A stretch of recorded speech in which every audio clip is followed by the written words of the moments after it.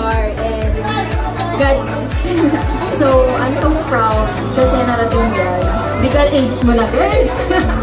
so, more birthdays to come pa, more achievements, alam kong kaya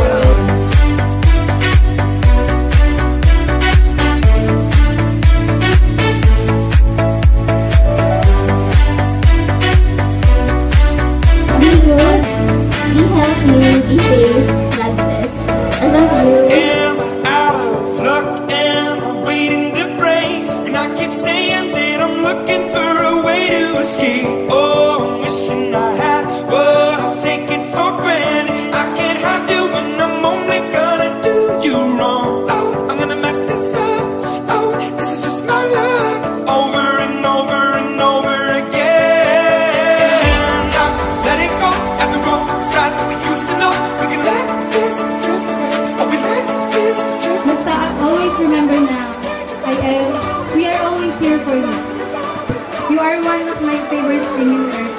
I love you. Ang gusto sa kanya ay makatapos ng pag-aaral. Hindi ako yung magulang na mahigpit sa mga anak. Ako yung magulang na kahit sabi nila ako yung makaray, pero mahal ko sila. Hopefully, maging masaya ka sa gabi nito. I love you. Birthday, um, you know that you're 80 now and big enough to know what's right and wrong. Um, just study hard and always be good. We love you always.